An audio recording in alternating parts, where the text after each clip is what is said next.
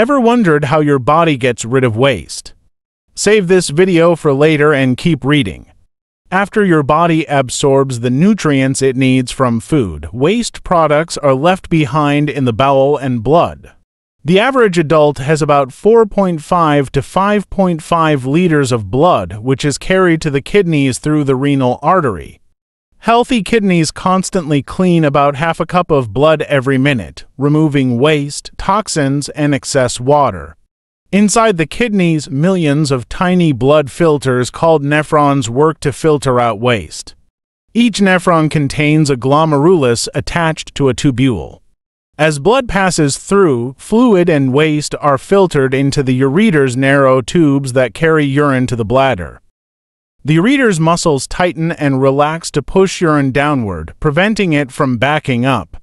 Once in the bladder, which is about the size of a pear when empty, urine is stored until it's time to be released.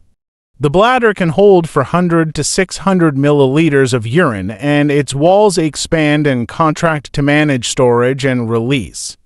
Special receptors signal the brain when the bladder is full, prompting the urge to urinate.